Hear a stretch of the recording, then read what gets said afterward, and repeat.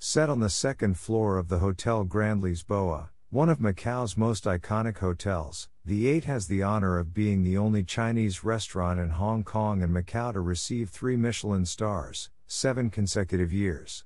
The dark and moody restaurant heavily features the number 8, representing good fortune, and other Chinese symbols. The creative and lengthy dinner menu, its 59 pages, features Chinese favorites like bird's nest, fish maw soup, and char siu along with flambe shrimp, and sweet and sour pork. There's also a comprehensive dim sum menu with everything from steamed shrimp dumplings shaped like goldfish to custard egg buns. Once you've settled on your meal, start hunting through the 17,000 bottle wine list for the perfect pair. Or ask your server for suggestions.